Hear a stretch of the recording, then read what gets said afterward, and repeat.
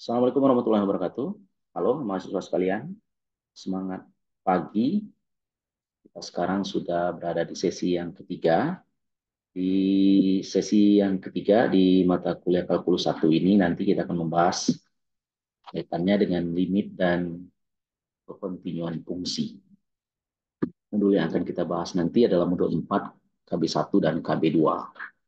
Setelah mengikuti berbagai aktivitas dalam LMS kita dan diskusi, jadi diharapkan kita mampu menghitung limit dan menentukan kekontinuan fungsi.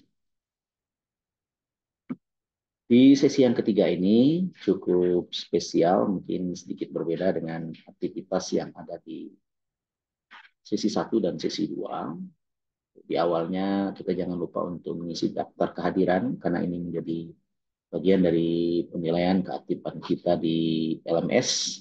Kemudian nanti jangan lupa untuk memahami ya, modul kita inisiasi di sesi yang ketiga ini.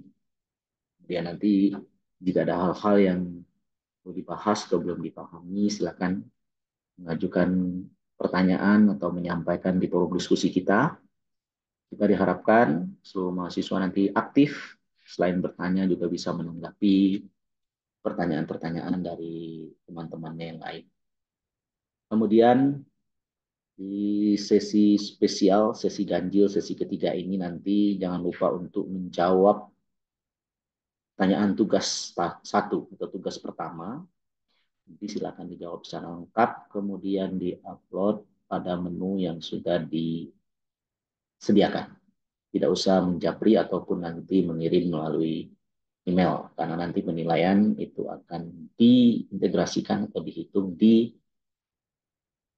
LMS atau di sistem kita. Demikian, salam semangat selalu, terus belajar untuk mendapatkan hasil yang maksimal. Assalamualaikum warahmatullahi wabarakatuh.